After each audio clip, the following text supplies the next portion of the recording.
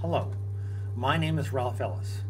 I'm the Marketing and Membership Director with the Ontario Lawn Bowling Association, and this is the first of three videos talking about grants and membership and how to use them to increase uh, your club's membership and improve your facilities. Today, the first of the three videos will talk about the New Horizons grants. The New Horizons grants have been around since the 1970s. My very first club in the 1970s received a greens mower, a verticutter, and uh, new lighting from the New Horizons program.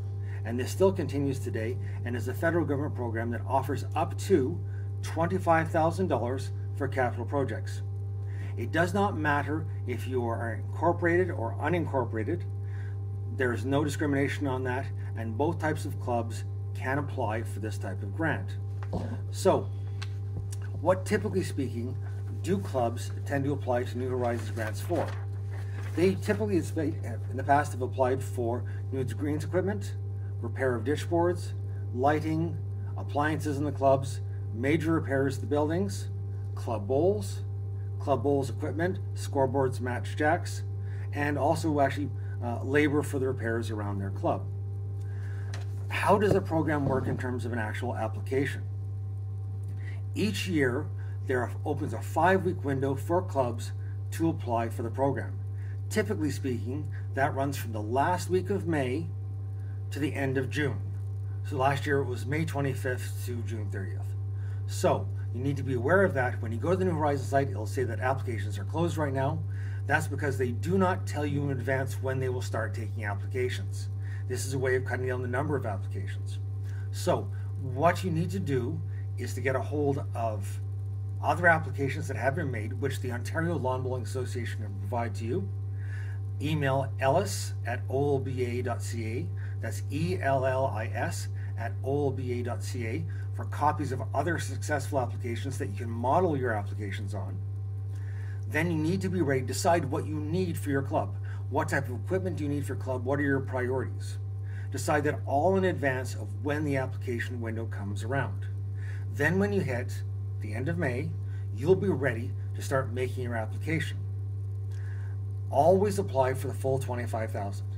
No matter what you apply for, if you're not using up your space, there are always other things we can get you to apply for, and we will assist you in that process. For example, if you're applying for repairs, but it's not, uh, again, enough for the full 25,000, also going to apply for things like new club bowls, or new appliances, or accessibility equipment to make it easier for people for disabilities to bowl at your club. And applying for more things, not fewer things, actually helps your application because you check off more of the boxes that interest the government people. When your government person is looking at your application, what they are doing is taking your application and going off and checking through it to see that you have hit all of the areas that they are interested in. Typically speaking, uh, the key areas are social inclusion, which means that you're bringing people together and you're fighting social isolation. Those are two key terms because any social activity that you have that brings seniors together is fighting social isolation and promoting social inclusion. The New Horizons grants are focused on seniors, but again, non seniors at your club can benefit. But typically speaking, lawn bowling clubs have enough senior members that this is not an issue. Basically, uh, it is one of the grants that you have a very, very high success rate with, and we'll go into that a little bit later on. Other key areas are accessibility.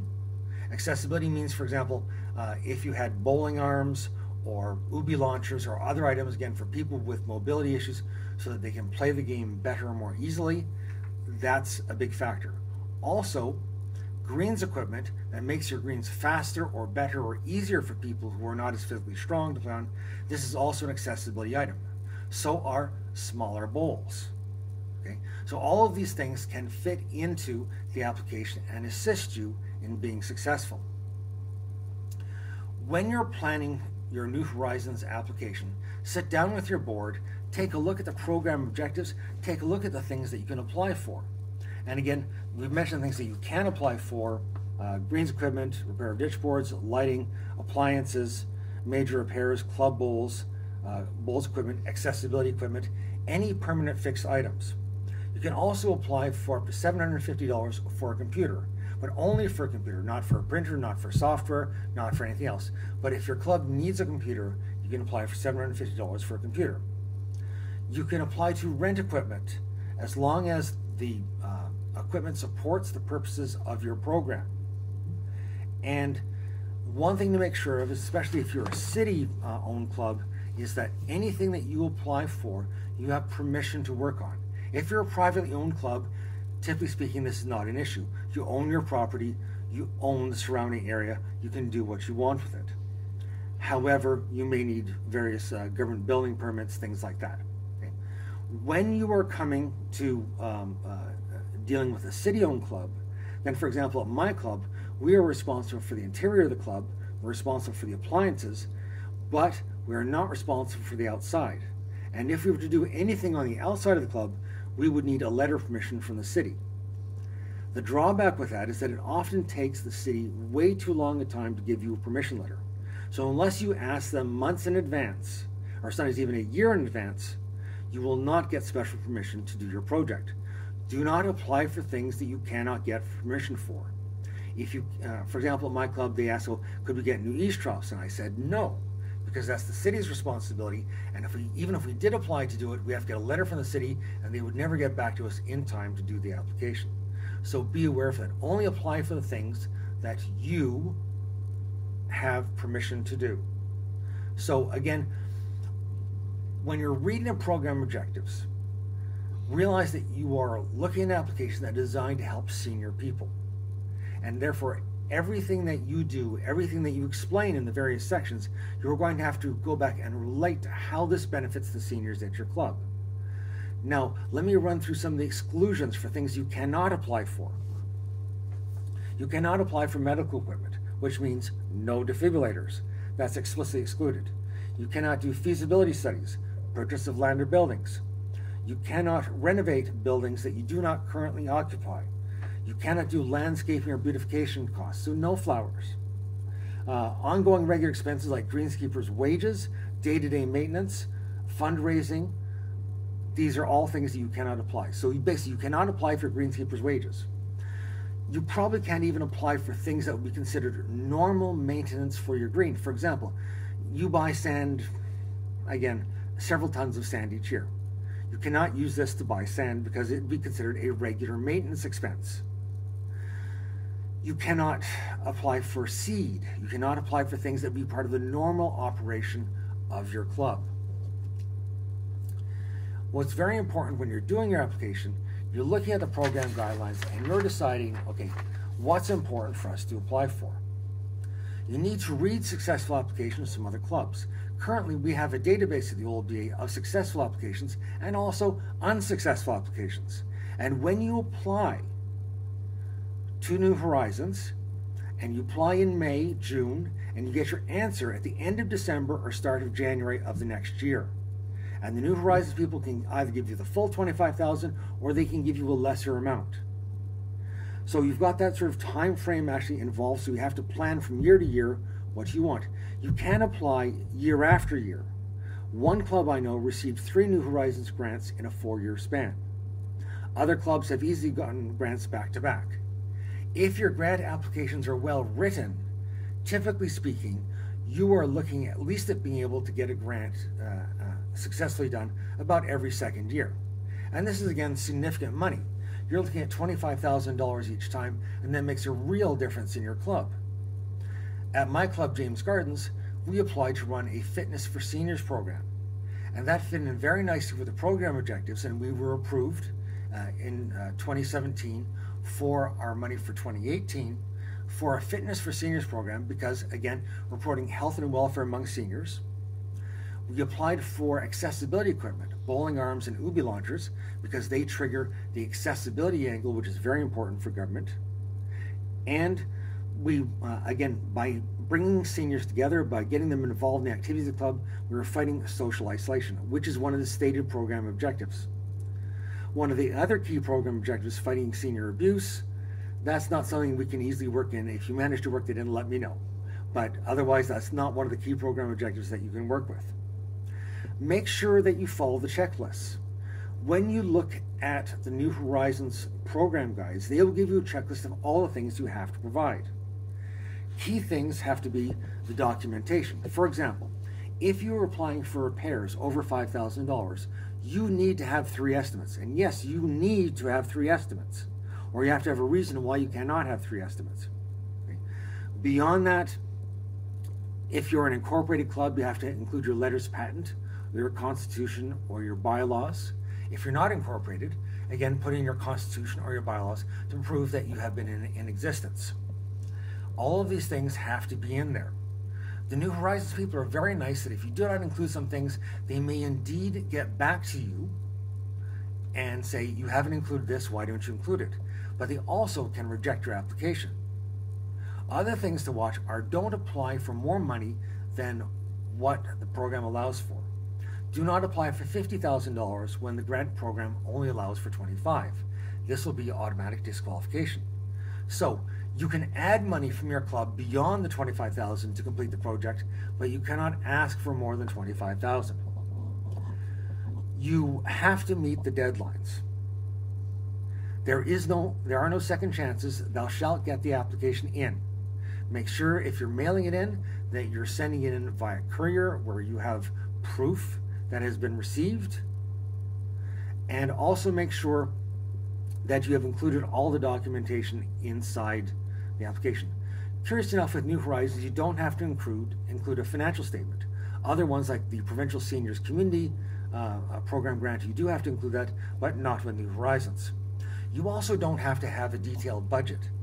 Because they can give you less money than the full amount, you don't necessarily have to budget out each and every item.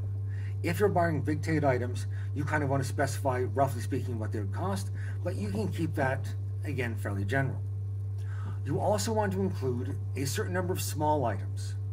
I tend to recommend uh, uh, things like bowling bags or other small bowling items included in your application so that when you have leftover money, that you can use up those money on those smaller items. Because any money that you don't use will go back to the government. Um, you can ask the grants people for help. Before people, before the grants application people start taking applications, you can call them and say, "Look, I want to apply for this. Does this work?" And you can walk through it and again uh, deal with that on a case by case basis. They will be relatively responsive. They are not interested in you not getting the grant. They're interested in helping you get the grant. Once the application process begins, then actually they may be more reluctant to give you an advantage versus other people by giving you extended detail information. So if you want to ask questions, ask early.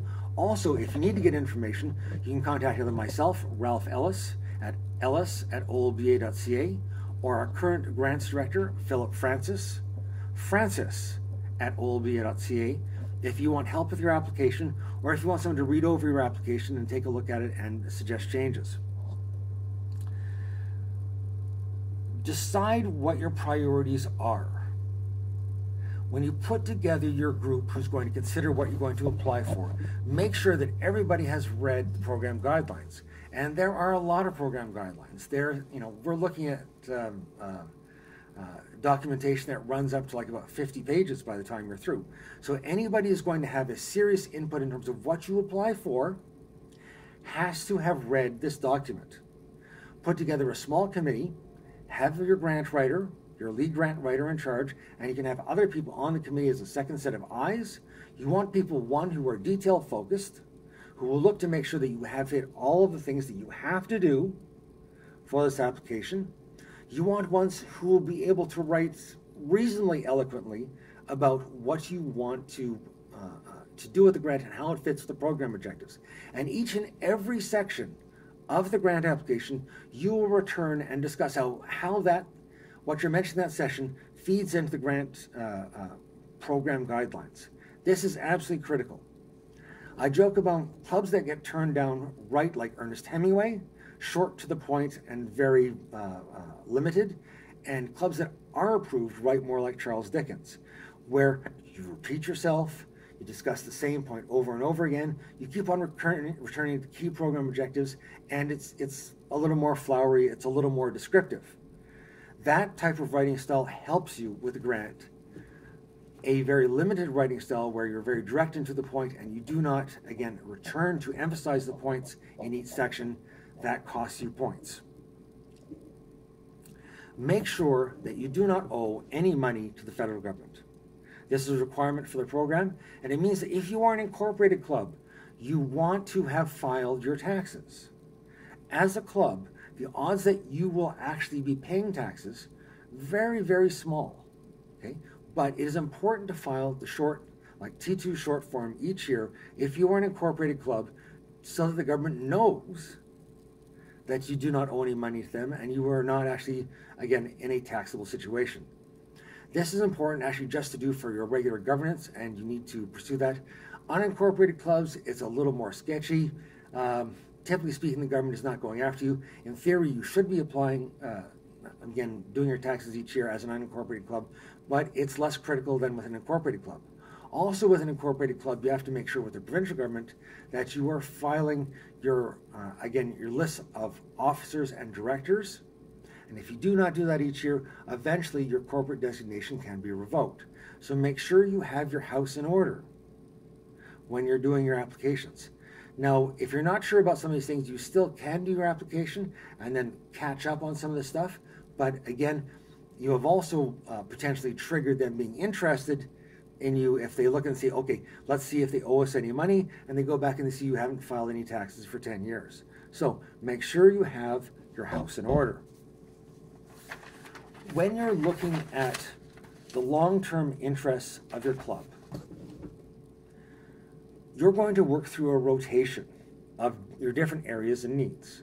For example, at my club, in the first year, we did our Fitness for Seniors program, which basically were a whole series of items that were designed to help membership growth and help make the game easier to play at my club, James Gardens. In subsequent years, the next year, we will probably apply to replace all of the 20 year old appliances that happen to be in our clubhouse. The year after that, we will probably go again for a different set of equipment or we may actually go for repairs. Repairs are probably the hardest thing to apply for because you have to justify them within the program. You have to make sure that you have all of the estimates, and you have to uh, really make sure that you've got a credible argument for how this will make your uh, the lives of your seniors better. So, I found that for the clubs that applied for various things, applying for equipment was relatively easy. Applying for repairs was more difficult. You may want to wait to apply for repairs until you have a little more experience with the grant get your first applications in, see how it works, get your people uh, some experience in applying. Who should write your grant application? I wrote the grant application for James Gardens largely because as a graduate student, I used to write scholarship applications. And that's a very similar process. You take what you, what you want to do and you fit it in with what the person who's providing the scholarship is interested in. And that's the same thing here. Everywhere along the way, you are saying to your, uh, uh, the government, okay, here's what I want to do, and here's how it fits in with the government objectives. That's critical. When you're looking at uh, someone who could do this potentially, um, aside from myself, because I've written with a scholarship uh, experience, you might look at someone who has worked in government. If you have a former government employee who's used to dealing with forms and the government and how they look at things, that's very useful. You can also take a look at someone, for example, who has been a teacher and who's going to be, again, relatively eloquent, relatively good with words, and used to dealing with government forms. But basically, you want a person who, one, will put in the work to do the detailed reading of the program objectives, the detailed list of what you have to do, and the deadlines and all the small little aspects that are part of the program, and then go back and write it. If you only have one person who can do this, that's fine. As long as they get approval from your board and everything, that's okay. If you have a small committee, that can be useful to have a second set of eyes to go back and go in and say, okay, you've done this, but you haven't done this. That's very useful. But the people who are on the committee must read the documentation. That's critical. If you have people giving you input who have not read the documentation, who do not know what the government requires, this will not help you, and it can actually force you to uh, disqualify yourself as you go along because you ask for something that you can't possibly have.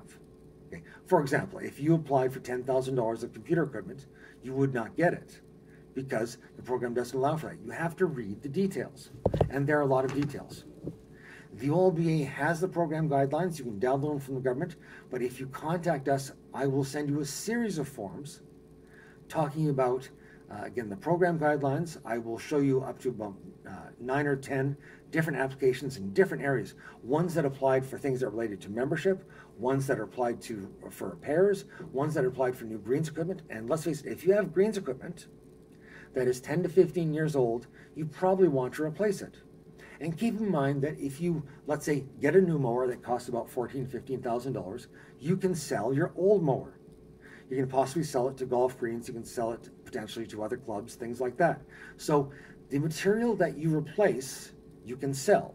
The material that you buy, of course, you cannot. So these are all things that, that matter. For example, if you go and replace all of your, you know, old black club bowls with small colored bowls, you can go sell all of your old bowls that are all chipped up and whatever else, whatever you want, and then use that money for other purposes in your club. This is all acceptable. But again, you have to be aware of this again by reading the program guidelines and taking the time to go over what are the priorities for your club. The OLBA, the Ontario Lawn Bowling Association, can get you help. But in order to get you help, you have to get to us in time. If you come to us two days before the deadline and say, Is my application okay? Maybe you'll get a response, maybe you won't. If you contact us a couple of weeks beforehand, then we've got a shot. But your best bet is actually to have a meeting with us sometime before even the application program uh, period opens up. For the last four months, I've been traveling to clubs, going around, teaching them how to apply for grants. The time to do that is in the winter, not just before the grant application time period. So contact the Ontario Lawn Bowling Association for a grants and membership workshop, and we will come to you. We will travel across the province to come to you to help you. When you write your application, we will go back and we will assist you with that process if you are turned down, we will go back with you, go over your application, and let you know how you can improve it. The New Horizons people will also go over your application with you in detail to say, okay, this is what you needed to do better. This is what's missing. And sometimes, actually, it's very silly things. For example, clubs don't get three estimates for a project over $5,000. That will cost you. They don't describe how what they're doing fits into the program guidelines.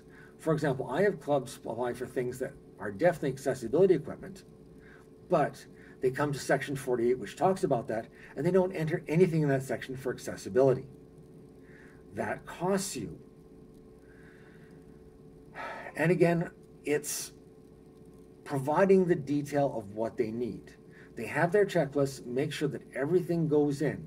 Make sure you provided your letters patent or your constitution or your bylaws.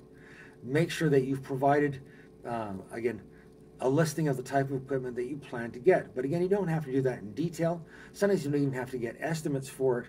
Again, as long as not, if you're buying one large item, like a $15,000 mower, well, then maybe actually you might want to provide a couple of different quotes but it is not the same thing as when you do applications for repairs where you have to have three estimates over $5,000 and one estimate below $5,000. So take a look at what your club needs, plan out a strategy over several years. You're going to apply for one set of things one year, another set another year, and you work your way through it. I personally encourage clubs to apply for things that help develop your membership. You can apply for things in your club, again, like club bowls, like ubi launchers, like bowling arms, that all make your club uh, uh, easier to play at for people who are seniors. And you can use these as continuous points to emphasize in your program. And there are things that you can add to even applications where you're applying for larger other items. Let's say you're applying for appliances. You can also apply for membership items. It does not hurt you to apply for more, it hurts you to apply for less. So now, summing up, read the program guidelines, and after you've read them, read them again. Then you go back and get successful applications from the Ontario Lawn Bowling Association so you can see what you need to include. Once you have that process done, talk to us. Have a meeting with us. We can go over what you're interested in and the strategies for how to approach it and make sure that you get a grant of $25,000. Now, there are going to be two more videos in the series. One is a video for how to apply for the Seniors Community Grant Program, which is for non capital items. And then there'll be a third video on how to turn all of this money into members. Thank you for watching. My name is Ralph Ellis. And if you need help with your grants, contact the OLBA and contact me, Ellis at olba.ca, E L L I S at olba.ca. Thank you.